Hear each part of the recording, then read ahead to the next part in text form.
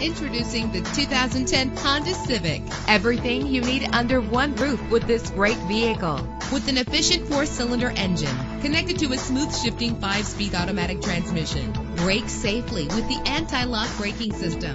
And with these notable features, you won't want to miss out on the opportunity to own this amazing ride. Air conditioning, power door locks, power windows, power steering, cruise control, power mirrors, an alarm system, an AM FM stereo with a CD player. And for your peace of mind, the following safety equipment is included. Front ventilated disc brakes, passenger airbag, side airbag, curtain head airbags, daytime running lights. Our website offers more information on all of our vehicles. Call us today to start test driving.